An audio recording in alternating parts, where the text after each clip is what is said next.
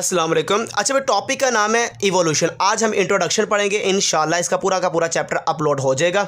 Evolution बहुत आसान और सिंपल सा चैप्टर है और टॉपिक सा देखते हैं इवोल्यूशन होता क्या है. अच्छा बेटा इवोल्यूशन में याद रखिएगा कि यहाँ पे न्यू स्पीशीज या पॉपुलेशन अराइज होगी. ठीक है? बनेगी डेवलप होंगी. मतलब वो कहाँ से बनेगी? From pre existing forms through successive generation मतलब जो प्री एग्जिस्टिंग फॉर्म है, उससे डेवलप होना न्यू पॉपुलेशन का ये न्यू स्पेशल का दे आर कॉल्ड इवोल्यूशन है हमारी बुक क्या कहती है? एफएससी की जब आपने पेपर में लिखनी तो ये डेफिनेशन लिखनी है। हमारी बुक कहती है the process that have transformed life एक प्रोसेस है जिसमें लाइफ ट्रांसफॉर्म्ड होगी। Transform life on earth from its earliest form जो पहली वाली लाइफ थी, जो पहले वाले जानदार थे, वो चेंज हो जाएँगे, उनकी ज़िंदगी ट्रांसफॉर्म्ड हो जाएगी।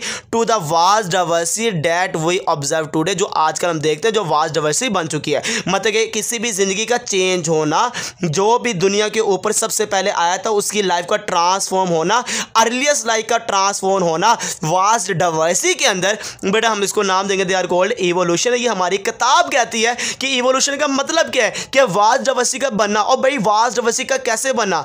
कहाँ से बनना? कहते हैं अर्लीस्ट फॉर्म से वास्ट डाइवर्सिटी का बनना, इसी का ट्रांसफॉर्म होना वास्ट डाइवर्सिटी के अंदर, जो आज हम देखते हैं दे आर कॉल्ड इवोल्यूशन अच्छा जो इवोल्यूशन के जितने भी मेरे बच्चे बायोलॉजिस्ट हैं याद रखिएगा जो इवोल्यूशन है ये interaction between population of organism and their environment के ऊपर बेस करता है। मतलब कि पॉपुलेशन जो जितने भी ज़िंदा जानदार है, उसका आपस में और इन्वायरमेंट के साथ जो इंट्रैक्शन होता है, उसी से जानदार इवॉल्व होता है। और इवन के एनसेस्ट्रल हिस्ट्री जो कि अबाव अजदाद की हिस्ट्री है, इसके ऊपर और जानदारों का आपस में और इन्वायरमेंट के साथ इंट्रैक्शन जो होता है, उसी के ऊपर बुनियादी लिहाज से जो कि नई स्पीशीज़ बनती है, जो कि इवोल्यूशन होती है।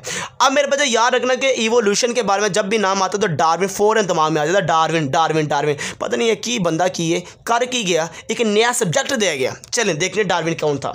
डार्विन पहला फ़र्स्ट पर्सन था भाईजान जिसने आर्ग्यू कहा था एविडेंस के साथ दिया था कि जितने भी स्पीशीज़ हैं were not specially created in their present form जितने भी जानदारों की स्पीशीज़ है, वो आज के वक्त में प्रेजेंट फॉर्म जो मौजूद है, वो पहले की तरह नहीं है।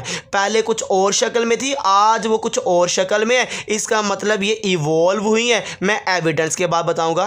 कहता क्या था first person who argued argued from evidence that species were not specially created in their present form rather they had evolved from ancestral species जो कि evolved हुए कहाँ से बड़ा ancestral species से इस बंदे ने कहा था ancestral species से इवोल्यूशन होती है ये चेंज होते हैं इन्वायरमेंट इनको डिफरेंट मिलता है और इन्हीं से एक नया स्पीशीज़ बन जाता है जिसको डिसेंडेंट फॉर्म कहते हैं या प्रेजेंट फॉर्म कहते हैं और इसी बंदे ने नेचुरल सिलेक्शन के मैकानिज़म को भी बताया था मतलब कि इवोल्यूशन का अगर मैं बुनियादी तौर पे कहता हूँ कि सारा का सारा जो क्रेडिट जाता है, वो डार्विन को जाता है। क्योंकि इसने मैकेनिज़्म फॉर इवोल्यूशन जो नेचुरल सिलेक्शन सबसे माने जाने वाला कॉन्सेप्ट था, वो डार्विन ने पेश किया हुआ है।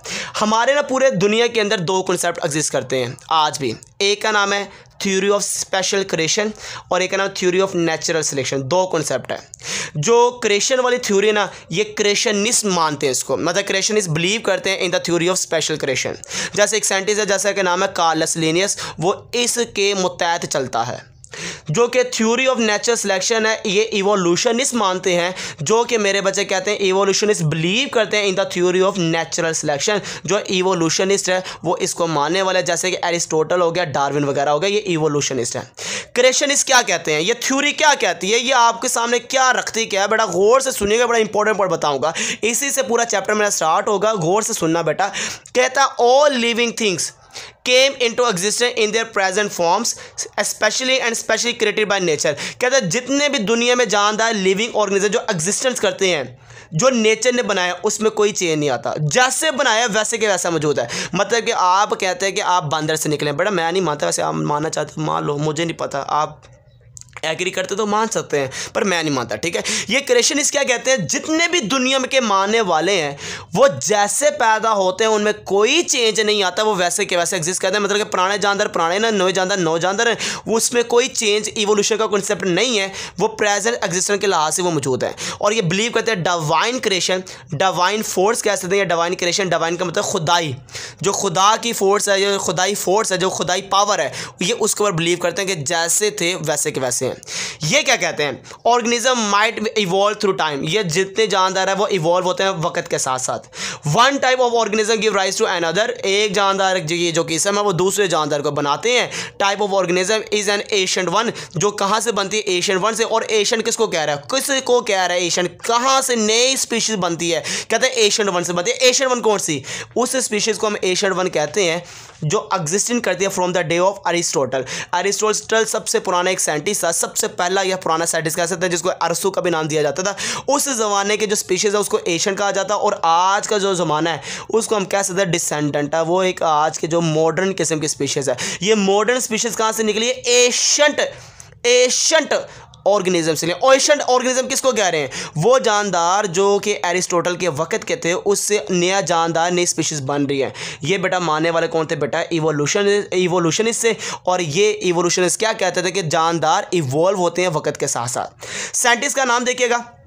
इवोल्यूशन जो चैप्टर के अंदर डिफरेंट जो उन्होंने रोल अदा किया है, एक है लीनियस जिसने बाइनोमियल नॉर्मल क्लेचर को इंट्रोड्यूस किया जो कि नेमिंग स्पीशीज़ देते हैं। लामार्क एक ऐसा साइंटिस्ट था जिसने भी इवोल्यूशन के ऊपर काम किया, इसने पब्लिश किया था थ्योरी ऑफ़ इवोल्यूशन जो कि थ्योरी ऑफ़ इवोल्यूशन वो लामार्क ने दी थी, एक माल्थस है।